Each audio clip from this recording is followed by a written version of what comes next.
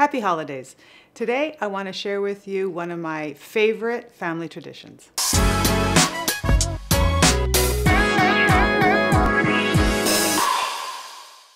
Hey everyone, I want to share with you something that's really special to me and it's a tradition um, in my family uh, called Yalda.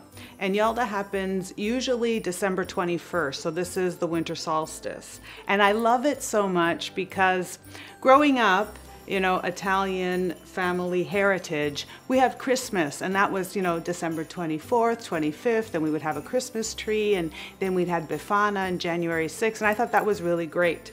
But I've always been a very curious person, and I always love to understand where do things start from, or could this have been, like, how do we have Christmas?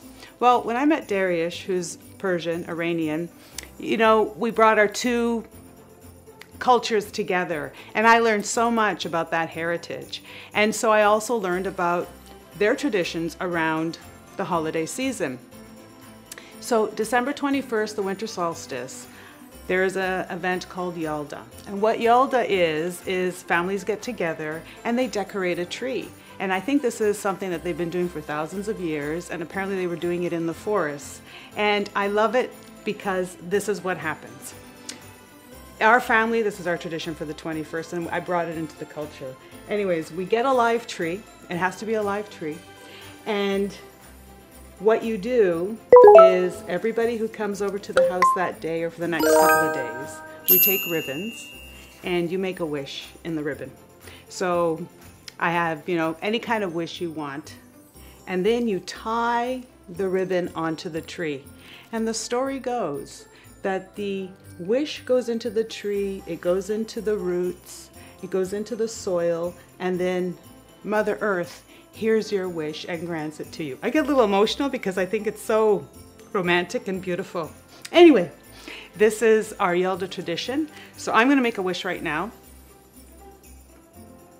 And I'm gonna tie it to the tree. What I love about this too is it has helped me bring so many people together in our family from different cultures, different ages, friends and family. We all look forward to coming over um, on the 21st and the days after that to create these beautiful Yalda trees. And then you know what we do? First day of spring is we take the tree and we plant it outside so we make sure that Mother Earth hears our wishes and grants us our wishes. And from what I understand, I know myself, many of my wishes have come true and many of my family members' wishes have come true. So I think this is such a beautiful tradition and I suspect this is where Christmas trees actually started from. So I think it's just magical. I'd love to hear what your family traditions are and how you like to celebrate. I look forward to your comments and have a great, great holiday season.